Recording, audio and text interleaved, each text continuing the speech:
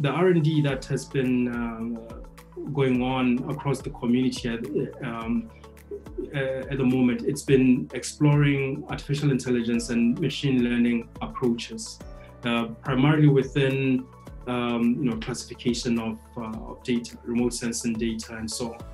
Now, I think this, it, what we've done so far as a community, as a geospatial community, has been excellent.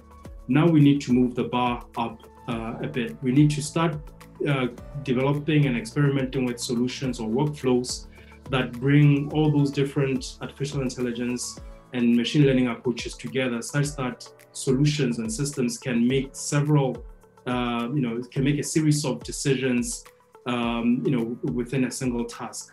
And I think really what we need to try to do is to keep pushing the bar, keep moving the you know design and of, geographic information systems and other geospatial technologies towards a point where you know systems can help us um, you know where the machine can help us uh, achieve many of those uh, activities yeah, I, I, definitely see opportunities. I think that these new standards on services like the the API for features, which are being uh, provided in a different way, it's more uh, API oriented.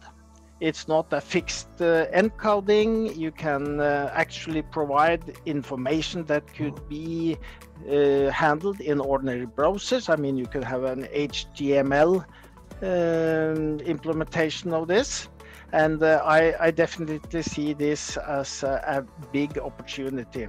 I, I think one, one, another of the challenges is the number of API. Should you have very specific API for each data set, or should you have some more generic API? And I think that this new series of API for features is more generic. And in addition to a generic way of handling spatial information, they can also handle non-spatial information. So how we could uh, market or outreach this in e-government solutions in general. That that, that will be challenging, but uh, also quite uh, interesting to see how we could do that. Uh, so we see a lot of opportunities in, in cooperation, um, in, in cooperation across across at every level. So across cities, across regions, across borders.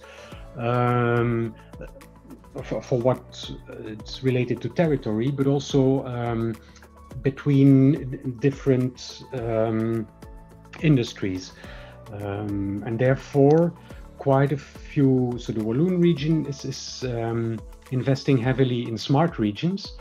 Um, so it, it's putting quite a lot of effort in that, um, but Flanders as well. So we're um, we're heavily investing in smart cities um, in order to get quite a few industries together um, to cooperate to use location data more extensively.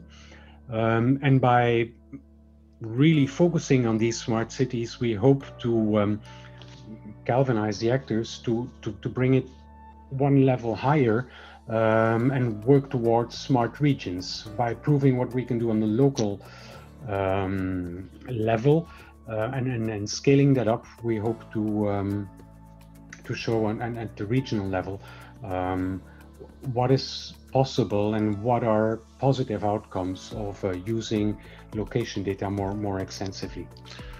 Well, uh, on one hand side, as I said, we have relatively good uh, legal and uh, strategical framework uh, in may, many many national level action plan, we already put these uh, formal requests. On the other hand, we have a relatively, not relatively, but extremely fast uh, developing uh, technological solutions and new uh, approaches, uh, innovative approaches, uh, which is integrated spatial data um, in wider aspect of sectors and processes with usage of modern technology, Internet of Things, sensors, and uh, real-time uh, uh data maintenance, etc. So all these, uh, both uh, those elements are the opportunity that in the future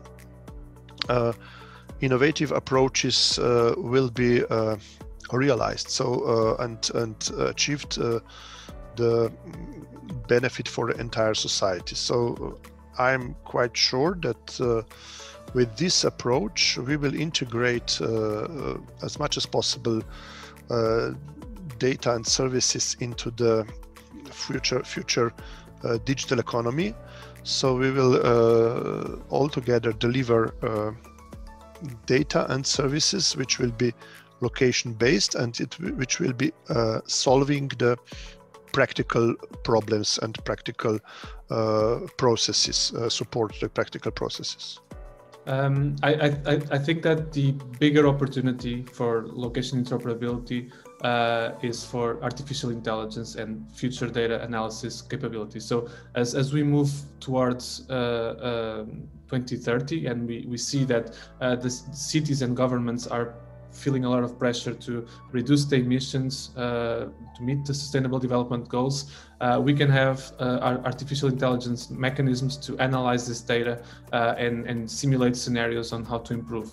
And if we have the proper location interoperability mechanisms, we can understand the data traceability. So we can understand where this did, did this data come from how did how did this agent took this decision and not have this black box that that uh, uh, picked up some some random uh, data from instance from uh, a data set made available by a united states city or or by a, a different a different uh, context so as as long as we have this digital agenda uh, moving forward and we have this interoperability currently in, in the market, we are enabling uh, future uh, AI opportunities to solve uh, proper use cases, leveraging on uh, open interfaces and open open data.